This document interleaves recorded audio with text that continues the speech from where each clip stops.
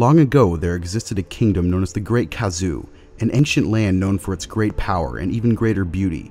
The people of the land were blessed with peace and prosperity. One day, an evil sorcerer by the name of Keres appeared in the kingdom and, upon looking at the riches the land had to offer, became jealous of the inhabitants. The sorcerer came to be known as the Plague, consuming everyone in its path. Facing an onslaught of evil, the people had no option but to appeal to the gods for help. In their last hours, the gods instructed the people of Kazu to gather at the highest point of the kingdom. Once there, the gods sprung huge mountains that took to the heavens, sealing them off from the land below. The sorcerer was banished, but not before cursing the people of Kazu and all of its descendants with a plague that would one day return and wipe out the people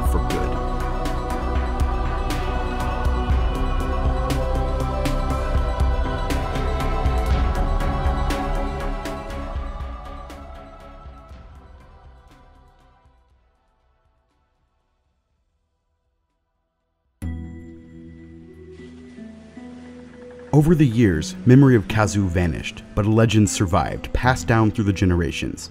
The Chosen One, aided by the Spirit of Light, would one day travel beneath the clouds to the No Land to defeat the plague and finally lift the curse from the land. At the top of the Great Peak lies a small village. 13 year old Signe is on her way back home to her grandmother when she becomes distracted by a white eagle in the distance.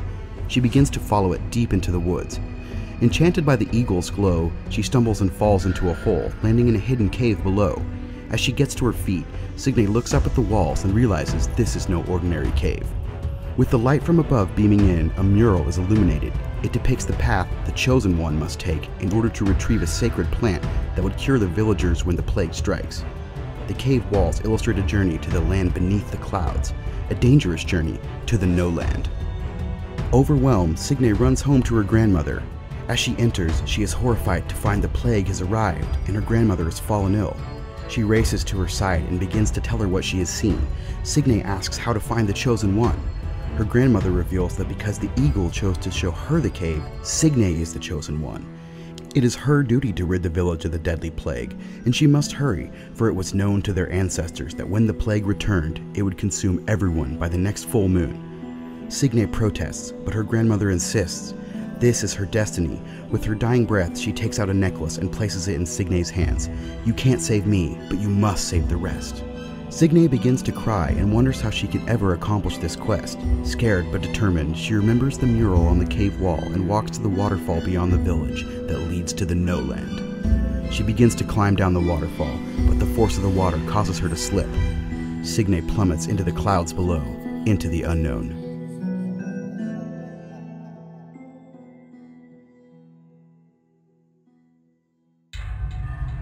Signe wakes up in a small hut bandaged up.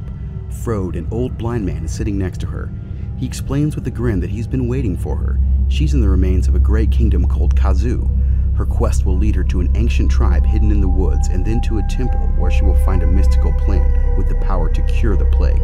He warns her that no one dares step foot inside the temple, for it is believed that anyone who enters will be eaten by an ancient shadow. As Signe readies herself to resume her quest, the old man gives her a gift an unbreakable shield made with the wood from the first tree. Frode tells her the only way back home is the way she came. Signe thanks Frode and resumes her journey. She looks back to find Frode and the hut have vanished as if they were never there. Too focused to be distracted, she grips the shield and continues forward. After days of wandering through the woods, Signe is very hungry. She encounters a friendly hunter by the name of Takama. He insists on sharing his food with her and takes her to his shelter. Signe begins to tell him of her quest and discovers Takama is from the tribe she is looking for. Takama tells her he will take her to his tribe, but only if she takes him to the temple. She agrees and they continue their quest together. As they arrive, they are greeted and Signe is taken to the tribal elders. They inform her that the temple is a forsaken place, cursed, and only gods are allowed to enter. Signe pleads with the elders, but they refuse. They laugh and command her to leave the village immediately. Takama begs the elders to let Signe stay, claiming he will be responsible for her. The elders agree, but tell Signe she may only stay for one night, and under no circumstances may she approach the temple. Hours later, under the waxing moon, Signe and Takama sneak out of their quarters and make their way to the forbidden place. As they reach the temple entrance, they realize that it is shut tightly by a circular boulder. Disheartened, they hang their heads in defeat. Suddenly, Signe looks closer at the boulder and sees something familiar.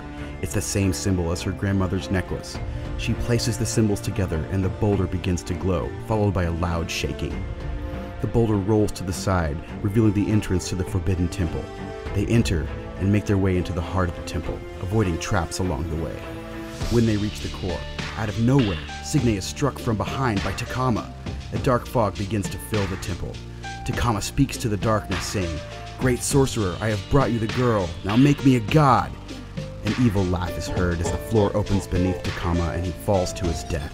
Signe rises, lost and surrounded by darkness. The fog assembles in the center of the room and assumes the form of a dark figure.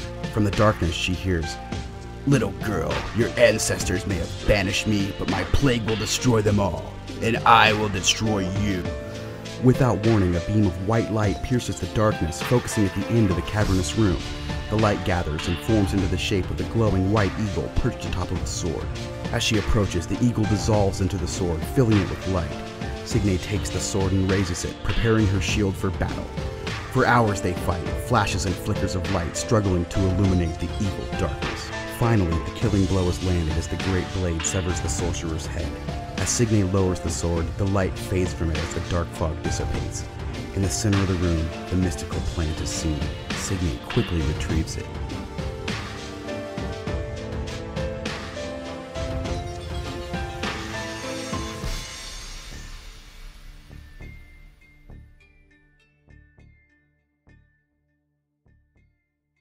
Signe emerges from the temple door, sword and shield glistening and the plant in her hand.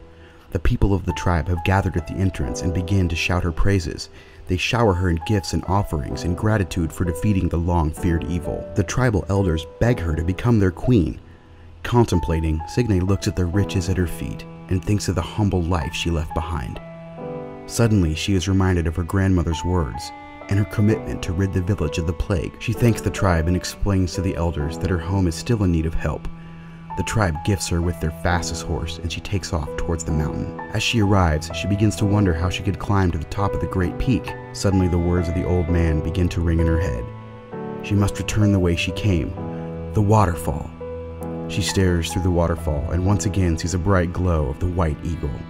She follows the glow underneath the waterfall and discovers a hidden entrance to a long, steep stairway adorned with the now familiar symbol of her grandmother's necklace. Torches along the wall begin to light up one by one, leading Signe higher and higher until she reaches a hidden entrance into the mystical cave where she first saw the murals and began her quest. As she runs out of the cave, the fog in the village begins to disappear, and the plague is lifted off the land.